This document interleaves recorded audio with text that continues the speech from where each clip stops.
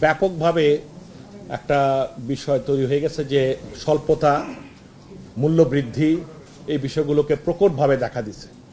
এবং এটার মূল কারণ আমরা অনেকভাবে যাচাই বাছাই করলাম। সেটার মূল কারণ হলো আমাদের ইউক্রেন যুদ্ধ। এই যুদ্ধের কারণে বেশ কিছু জায়গায়, বিশেষ করে ইউরোপে জ্বালানি সংকট তীব্রভাবে দেখা দিছে। আর আরেকটা বড় বিষয় হলো ইউরোপে প্রচণ্ডভাবে তাপদাহ। এই কারণে আরও বেশি ওখানকার এনার্জি দরকার। আমরা যে পরিমাণ এনার্জি আমরা ইম্পোর্ট করতাম, অর্থাৎ লোকালি আমরা তেইশশো এমএমসি অফ গ্যাস বাংলাদেশ থেকে আমাদের নিজস্ব গ্যাস ব্যবহার করতাম। আমাদের দুই হাজার আঠারো উনিশ পর্যন্ত আমরা সাতাইশশো এমএমসি পেতাম, এটা কমে এখন তেইশশো। কিছু কিছু ড্রিলিং করার কারণে আমরা কিছু কিছু গ্যাস খনির থেকে আমরা পাচ্ছি উনিশ এমএমসি অফ পনেরো এমএমসি অফ বাট খুবই সামান্য। বাকি গ্যাস প্রায় সাড়ে আটশো এমএমসি অফ গ্যাস আমরা ইম্পোর্ট করতাম। সাড়ে আটশো এমএমসি অফ পাঁচশো এমএমসিএফ আমরা লং টার্ম কন্ট্রাক্টে আমরা ইম্পোর্ট করি, যেটা কিনা ব্র্যান্ড প্রাইস টাই আপ করা হলো অয়েল প্রাইসের সাথে। যদি তেলের দাম বাড়ে, তাহলে গ্যাসের দাম বাড়বে। এটা আমাদের পনেরো বছরের চুক্তি করা আছে, দুইটি দেশ, কাতার এবং ওমান এটা থেকে আমরা নিচ্ছি।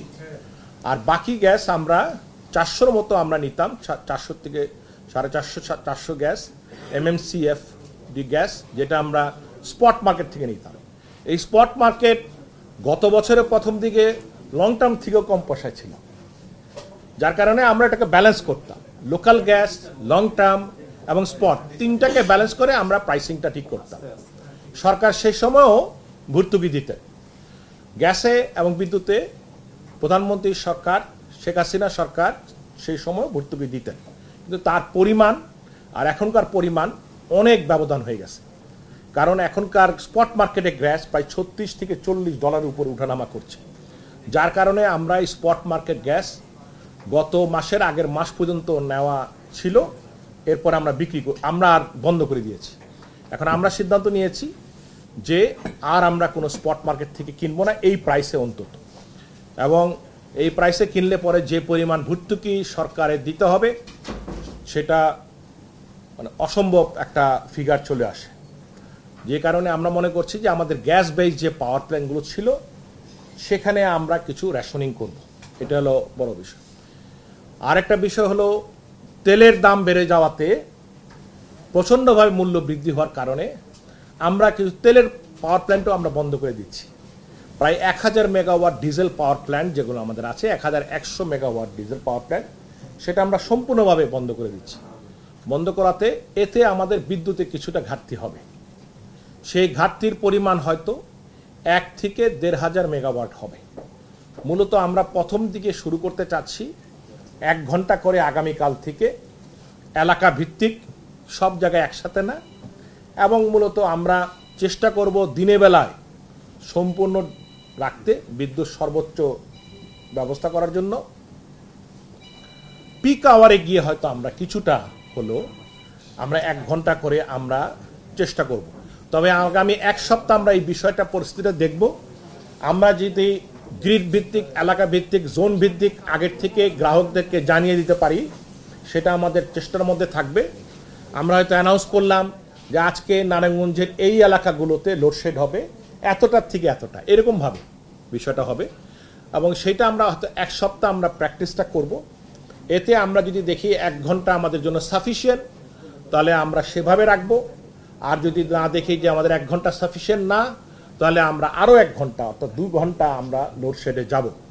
আমরা চেষ্টা করছি আরও বিভিন্ন খাতে কীভাবে এটাকে সাশ্রয়ী করা যায়, বিশেষ করে বিদ্যুৎ এবং জ্বালানি। এ কেবল বাংলাদেশের বিষয়টা না।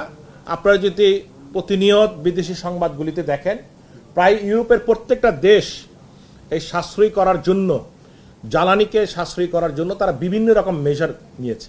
কিছু কিছু দেশ তারা রেশনিংয়ে গেছে, কিছু কিছু দেশ তারা নিজেদের দাম অ্যাডজাস্টমেন্টে গেছে খুব প্রচণ্ডভাবে। এরকম বিভিন্নভাবে তারা মেজারমেন্টে গেছেন। এবং এই পরিস্থিতি এশিয়ার অনেক দেশ এবং ইউরোপের অনেক দেশ এই পরিস্থিতি গেছে। আমরা মনে করি আমাদের এই জিনিসটা, সকলের সাথে যদি আমরা একসাথ মিলে এটা একটা ক্রাইসিস পিরিয়ড যাচ্ছে। এই জিনিস মনে করে যদি আমরা নিজেরা একটু সাশ্রয়ী হই এবং আমাদের বিশেষ করে আমরা যানবাহনের ক্ষেত্রে যদি একটু কম ব্যবহার করি, তেল ইম্পোর্ট কিছুটা কমবে, আমাদের ফরেন কারেন্সির উপর কিছুটা প্রেশার কম পড়বে। আমরা যদি ট্রান্সপোর্টগুলি খুব হিসাব করে খরচ করি, আমাদের সরকারি মিটিং যতগুলো হয় যা আমাদের, যেসব আমাদের মিনিস্ট্রিতে হয় বা অন্য অফিসে গিয়ে হয়, সেগুলোকে যদি আমরা অনলাইন করে ফেলি, ইতিমধ্যে আমরা অভ্যস্ত, গত দুই বছর তো অনলাইন করেছি। এতে আমাদের ট্রান্সপোর্টে অনেকখানি সাশ্রয় হবে। বাংলাদেশে ডিজেল যে পরিমাণ আমরা ইম্পোর্ট করি, তার দশ শতাংশ ডিজেল ব্যবহার হয় বিদ্যুতে। আর বাকি নব্বই শতাংশ ডিজেল ব্যবহার হয় ট্রান্সপোর্ট সেক্টর এবং অন্যান্য খাতে। এই বিষয়টা মাথায় রাখতে হবে। তো অন্যান্য খাতের থেকে যদি আমরা, বিদ্যুৎ আমি দশ পার্সেন্ট বন্ধ করে দিলাম ডিজেল এবং অন্যান্য খাত থেকেও যদি আমি দশ পার্সেন্ট সেভ করতে পারি, তাহলে এই বিশ পার্সেন্ট সেভে যে পরিমাণ অর্থ আমরা সেভিং করতে পারব, যে পরিমাণ ফরেন কারেন্সি আমি সেভ করতে পারি, এটা একটা বিরাট বড় বিষয় হবে। সুতরাং আমি মনে করি যে আপনারা সকলে আমাদের সাথে যথেষ্ট পজিটিভ ওয়েতে থাকবেন। এটা খুবই সাময়িক ব্যাপার, আমি মনে করি না, একটা খুব দীর্ঘমেয়াদী ব্যাপার। কিন্তু আমার মনে হয় যে আমাদেরকে এই জিনিসটা অনুধাবন করতে হবে যে বিশ্বর সমস্ত দেশই কিন্তু কোনো না কোনোভাবে এই পরিস্থিতির শিকার হচ্ছে বিশেষ করে জ্বালানি এবং এই এই ক্ষেত্রটায় বিদ্যুৎ ক্ষেত্রে। না বিপিসি কোনো সাজেশন দেয় নাই।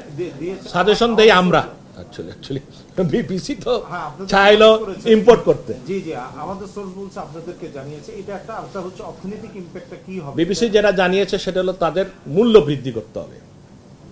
আচ্ছা আমরা এই বিষয়টা লক্ষ্য রাখছি যে প্রাইস অ্যাডজাস্টমেন্ট করলেই তো সমাধান হবে না। আমাদেরকে দেখতে হবে যে কতটুকু আমরা সাশ্রয়ী করলে চলতে পারি। তার পরবর্তী অবস্থায় মেজর আমরা কি নিই এই সিদ্ধান্তের অর্থনৈতিক ইম্প্যাক্টটা কি বলে আপনাদের কোনো অবশ্যই কারণ আমরা যদি এই সিদ্ধান্ত না নেই তাহলে সারা বছরে যে পরিমাণ ডিজেল আমরা ইম্পোর্ট করি তার দশ শতাংশ ডিজেলের দাম দিতে হবে ফরেন কারেন্সি কিন্তু সেই মূল্য তো বিদ্যুৎ থেকে পাবো না। কারণ ডিজেল দিয়ে যে বিদ্যুৎ তৈরি হয় তার পঁয়ত্রিশ টাকার মতো পড়ে। এখন যদি ধরি, তাহলে চল্লিশ টাকা পার ইউনিট পড়বে। আমি যে বিদ্যুৎ বিক্রি করতেছি এভারেজ পাঁচ টাকা। তো সেই জায়গার ঘাটতি থেকে তো বাঁচবে। ঠিক না? তো সুতরাং সেটা ভর্তুকিত সরকার এটা থেকে সেভিং হবে। যে গ্যাস আমি এখন পড়তেছে প্রায় উনচল্লিশ টাকা পার ইউনিট এই গ্যাস বিক্রি হচ্ছে ষাট টাকা। তো সেখানে উনচল্লিশ টাকা যেটা আমরা ইম্পোর্ট করতেছি আর ষাট টাকার মধ্যে অনেক বড় পার্থক্য। সে অর্থ তো সরকারের পক্ষ থেকে ভর্তুকি দেওয়া অসম্ভব হয়ে যাবে। বরং সরকার মোরলি দেখতে চাচ্ছেন, কারণ একটা জায়গাতে তো বড় ভর্তুকি না সরকার সারে ভর্তুকি দিচ্ছেন। সরকার বিভিন্ন ক্ষেত্রে, প্রায় প্রতিটা ক্ষেত্রে এখানে প্রাইস রাখার জন্য তারা অ্যাডজাস্টমেন্ট না গিয়ে এখানে কিন্তু স্থিতিশীল রাখার জন্য, গ্রাহকদের জন্য চেষ্টা করতেছে। এটা এতদিন পরে, কারণ আমরা চাচ্ছিলাম যেভাবেই হোক, এটা সাশ্রয়ীভাবে নিজেরা থেকে কতটুকু আমি দিতে পারি। আমি যদি আজকে একশো দিন আগে করে দিতাম একশো দিনের মধ্যে যদি আবার প্রাইস অ্যাডজাস্টমেন্ট করতে হতো তখন আপনারা আবার আরেক রকম কথা বলতেন। এই জন্য আমি মনে করি আমরা প্রত্যেকটা মেজার প্রথম দেখে শুনে ভেবে চিন্তায় করতে চাই। কে কি বলল কে কি বুদ্ধি পরামর্শ দিল এত ওইদিকে না গিয়ে যারা আমরা এখানে এই পরিস্থিতির মধ্যে নিয়ে পরিচালনা করছি আমাদেরকে ভাবতে হবে জনগণ সবার আগে। আমার যদি এই একশো দিন আমি যদি মিট করতে পারতাম প্রাইসের মধ্যে যদি অ্যাডজাস্টমেন্ট হতো প্রাইস তো আর হঠাৎ করে মানে আস্তে আস্তে আস্তে আস্তে ধীরে ধীরে বাড়ছে। আমাদের শখটা দেখতে হয়েছে আমাদের যে এতদিনে কতটুকু আমি শখ নিতে পারব। আমরা এখন যে অবস্থাটা আসছে আমি মনে করি এখন শখের বাইরে চলে গেছে। সেই কারণে আমি মনে করি যে আমরা নিতে আমরা আশা রাখছি উপাসনালয় আমি মনে করি যে উপাসনালয়তে আমরা এসি ব্যবহার করছি প্রচুর পরিমাণে। এখানে কিছুটা সাশ্রয়ী হওয়া দরকার আমি মনে করি। আমাদের নামাজের সময়টুকু কেবলমাত্র ব্যবহার করে, বাকিটা সময় যেন তারা বন্ধ রাখেন। এই দিকে খেয়াল রাখতে হবে। যত্রতত্রভাবে সরকারি অফিসগুলিতে এসি যেন প্রপারলি ব্যবহার করা না হয়, সেটার ব্যাপারে নির্দেশনা দেওয়া হয়েছে। আর আরও বিশেষ হলো বিশেষ করে যানবাহন মানে সরকারি যানবাহনের ক্ষেত্রে যাতে কম ব্যবহার করা হয় সিঙ্গেল কার যেগুলো। বড় যানবাহন না যেগুলি সিঙ্গেল কার সেখানে কম ব্যবহার করা যায় কিনা সেগুলি একটা নির্দেশনা আছে। আর যত বেশি মিটিং আমরা অনলাইন করতে পারি, সেখানে আমাদের একটা সাশ্রয় করতে পারব আমরা। পেট্রোল পাম্প বন্ধর ব্যাপারে আমি বলেছি বিপিসি তারা পেট্রোল মালিক সমিতির সাথে বসবে।